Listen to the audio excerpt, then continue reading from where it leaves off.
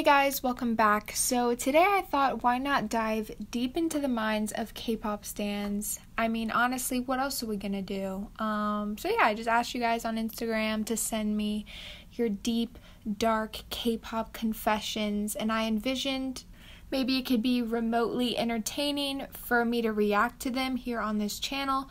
So that's exactly what we're going to do. So you guys gave me some really amazing replies. Honestly, I can't wait, so let's just dive into them. Let's go. I used to wish that I die and then get reborn Korean. well, damn, it looks like we're just starting off strong. First off, I hope you don't wish to die. Just trying to address that right off the bat. Um, and secondly, I definitely think no, actually, I know that you are not the only one to have wished to be Korean. Honestly, K pop stans are fucking weird, and it gets to that point um, luckily, it never got to that point uh, for me. So, yeah, uh, I'm sorry. I'm British, and none of my friends know I listen to K pop, and I never mention it. I used to be the exact same way, except you're British and I'm not British. I'm American, and being from the western side of the globe, I think most of us can congregate and accept the fact that, you know, we were all embarrassed at one point, and there was a time when, you know, liking K pop to us was weird. And, you know, we were a little bit, you know, insecure about liking K pop. Um, I personally thought everyone would think I was weird or like, I don't know, an outcast or something for liking Korean pop music. And eventually I got really lonely.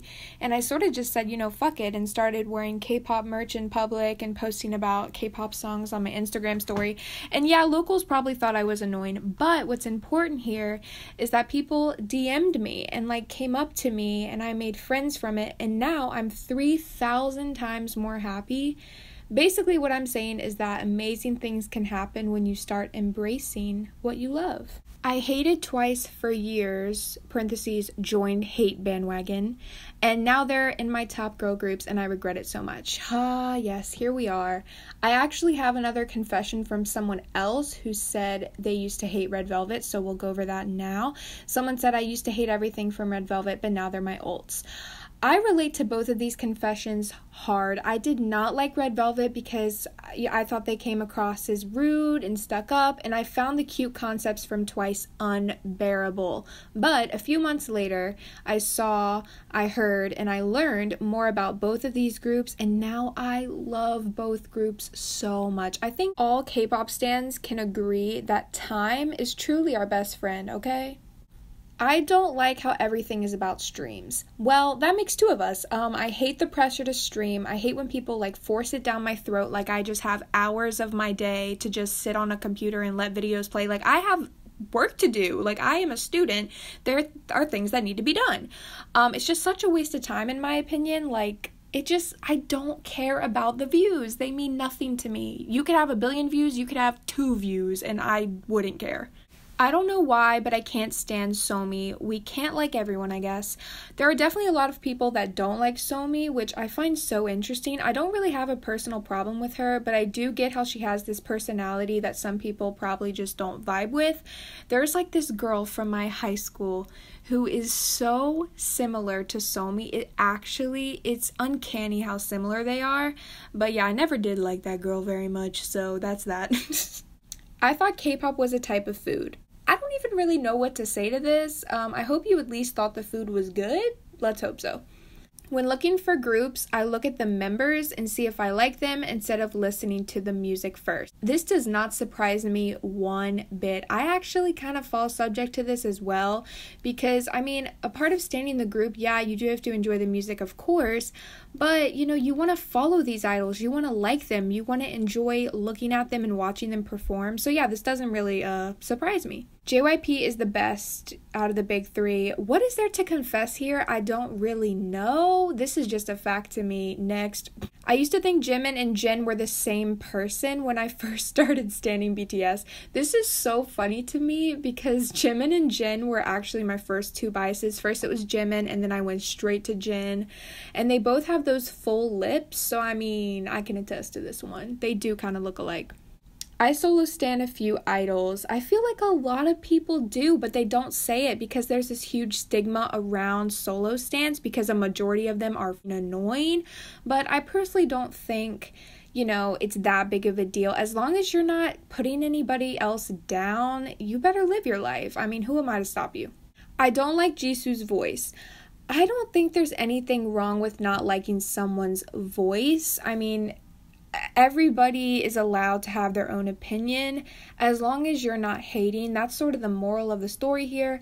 I mean, there are some idols' voices that I'm not too keen on, if I'm gonna be honest. Uh, I personally love Jisoo's deep, raspy voice. It's very unique to me. And no, she's not like the best singer in the world, obviously. But I mean, come on, she's improving every day, and I'm here for it. I used to think every idol was under one company. I'm telling y'all that when I first got into K pop, I don't even think I knew what a company was. Honestly, I don't think I knew much of anything at that point, so this doesn't surprise me. There's been some bops this year, but overall, this year has had generic music. Somebody said it. I 500,000% agree with this. I honestly took 2018's blessings for granted. Like, we had Boss, What is Love, Bad Boy, I'm So Sick, Starry Night. Like, what? We were truly living in an era of greatness. But this year, y'all, oh God, it's been a little bit dry and kind of underwhelming if I'm honest. I used to write cringe worthy fanfics. Listen, you cannot be a true K pop fan. You cannot call yourself a K pop stan if you have not done this. We've all been there, and honestly, fanfics are what keeps this fandom interesting. Like, if you're ever bored, go on Wattpad and just dive right into one story. These K pop stans do not mess around. I love it. When I was like 11, I cried because I knew I because I knew I wouldn't marry Jungkook. this kills me because this is so cute but also relatable at the same time. Like we all have that moment when we realize like shit, our biases don't even know we exist and uh, the likelihood of us ever meeting them is slim to none. I keep having dreams about idols, lol. I have had so many dreams about idols that I cannot even explain. Every one of them has been so random. Like, I had this one dream, Lucas and I went to high school together and we were in the bathroom together and he was like washing his I don't even fucking know. And then I had this other dream that Yeri was my Uber driver. Honestly, I wish I had explanations, but uh, it's just not possible. And this leads me to another confession about a dream. They say, I once had a dream where Taehyung was a dog and he bit me. I don't, honestly, I don't understand how Taehyung could, like, form into a dog. But honestly, I'm jealous because that sounds kind of fun. The whole it took me a few listens to enjoy it is just forcing yourself to like a song because it's your fave's release. Well, damn, I feel attacked because in a way this is so true. Like normally when an artist releases a song that I don't like, I just move on with my life. For example, Ariana Grande released Don't Call Me Angel, which is not my cup of tea, so I just simply, you know, moved past it. But in K pop, it's like I have to force myself to like a song because most of the time I'm watching the live stages and the fan cams. It's basically brainwashing. Speaking of washing, um, this person says, I personally love whitewash. Here's a piece of advice that may serve you well in your life. Some things you just gotta keep to yourselves. This is an example. Kai and Jennie were just a publicity stunt on the low key. Thank you a thousand times over because this is exactly what I believe to be true. It was just a publicity stunt. At this time, Jennie was being called lazy and there was tons of shit going on in YG Entertainment. So I I have a theory that YG and SM put their heads together to make up this elaborate little plan. Um honestly, it just makes zero sense. I made my teacher play a K pop song in class once. At least I've learned my lesson now. Oh, this makes me want to cry. This makes me so sad. I'm so sorry because I can just like imagine your teacher being like, okay, class, does anyone have a song they want to play for everyone? And you're like, yeah, play Fancy by Twice. And then everyone starts laughing at you. Yeah, I'm having some dark middle school flashbacks. So we need to abort this one as fast as possible before I have a meltdown. I listen to Jimin moans daily. Yeah, and you know what? You're probably not the only one, realistically. Sometimes in life, you just gotta have that one thing that really kickstarts your day. And if listening to Jimin moans is that one thing, well, you know what? Get your life, accept it, embrace it. And uh, yeah, at least you're not going around killing people. So that's a positive. I don't see the hype around Everglow. They just seem like a knockoff Blackpink to me. I think Everglow's hype is due to the fact that they have a similar concept to Blackpink, actually. I think another confession here coming up summed up my thoughts about Everglow perfectly. This person said, Everglow are not copycats, they just follow the trend. Which makes so much sense. I mean, they're not a super unique group, if I'm honest, but they do follow the mold. They follow the trend of what makes successful, likable girl group, and they're doing it well. So, you know what? Best of luck to them. I just bought six albums yesterday for like $120. this is actually me. Like, uh, I'm that one person who is so cheap. Like, I feel bad after buying anything, but then, like, I'll go and spend hundreds of dollars on K pop albums and I'm unfazed. It doesn't make any sense, um, and in no way am I promoting my toxic lifestyle. I used to be a Koreaboo honestly, you guys, on the real real, I feel like a lot of K pop stans used to have like Koreaboo tendencies and they just don't ever mention it. like they're just too embarrassed to confess it, I guess.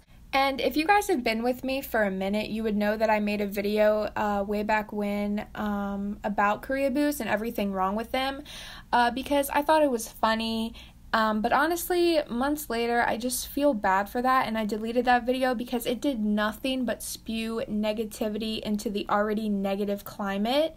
Uh, and I was not having that, but it's just the people that want to become Korean and like start to like get the surgery and actually like make them like fool people into thinking they're Korean that actually piss me off and scare me. But other than that, you know what? Live your fucking life. If you want to walk around saying 안녕하세요 and like doing the little hearts, who am I to stop you? Like, yeah, it's cringy, but you know, do what you have to do, man. I love you. Dot dot dot. That's it. Oh, y'all got me crying on a Thursday at 3 p.m. I love you more. IZ*ONE just isn't my cup of tea. Actually, in the beginning, I was kind of on your side whoever confessed this. Um, I didn't see the hype IZ*ONE, and then one day out of nowhere, something just switched in my brain, and suddenly I was interested in them, and I was like watching their crackhead like guide to videos on YouTube at like 2 a.m. So yeah, and here we are today. I literally love them. Uh, and I think they're such a solid group, and it breaks my heart to know that one day they will no longer be a thing. Like, I don't even want to think about it. Uh, but yeah, I mean, you're allowed to not like them. I just think I love them a little too much. I get often criticized for liking Blackpink, and it makes me feel like I shouldn't stand, but I love them so much. I don't think I've ever related to something more. Um, except for the part where getting criticized for Blackpink, I don't really feel like I've been criticized for liking them, um, but I have been called basic and annoying for liking them, which I'm used to at this point. But for example, when I said Blackpink were my old girl group in a few videos back, a part of me did feel kind of uneasy about saying that, which is so stupid because I love those girls so much, but it's difficult when everyone is yelling in your face about how overrated, spoiled, undeserving, untalented, and problematic they are all the time. So I totally get where you're coming from. Sometimes I think that Tzuyu has no personality and she is just a pretty face. I remember when I first got into Twice, Tzuyu was so unlikable to me, and I thought similarly to the way you think. I just think she's quiet and shy, and there is nothing wrong with that. We expect these idols to be these charged up robotic like machines all the time, and Tzuyu is not having that bullshit. And honestly, we have no choice but to stand. I thought that Fan Cafe was a local coffee shop where we would go hang out with our faves. I had to include this one because this is so hilarious yet so true because when I first got into K-pop and I saw about fan cafes, I thought the exact same thing, but in reality, it's just this little forum, okay?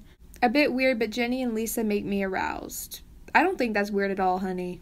K-pop made me hate the way that I look.